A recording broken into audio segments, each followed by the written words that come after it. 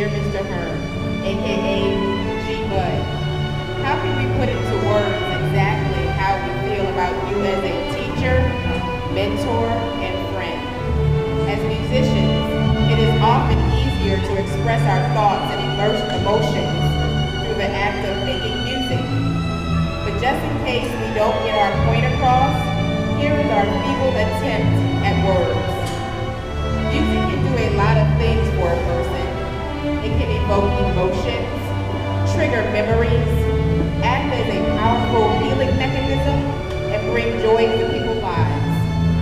Musicians learn about discipline, creativity, teamwork, accountability, taking pride in their accomplishments, and at the same time humility, because there is always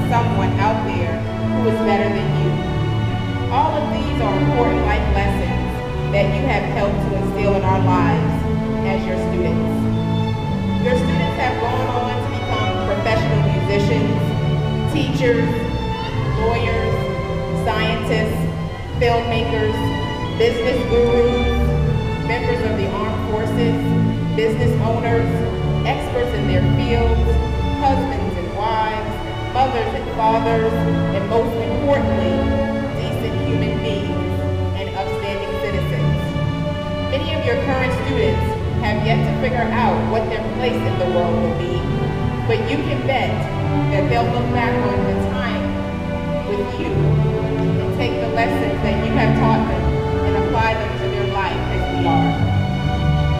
Because of you, we will always remember to be so happy it's Thursday, and most of us know the answer to the question, who is the father of Russian music? Those from the middle school fondly remember the tizzle and the fireworks cheers.